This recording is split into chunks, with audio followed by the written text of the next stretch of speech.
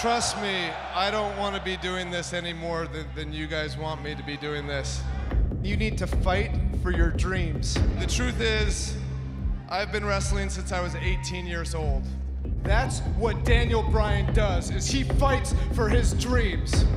I have loved this in a way that I have never loved anything else. Fight for your dreams! Fight for your dreams! It is with a heavy heart And if you fight for your dreams, and the utmost sadness your dreams will fight for you! that I officially announce my retirement. Will Daniel Bryan compete in a WWE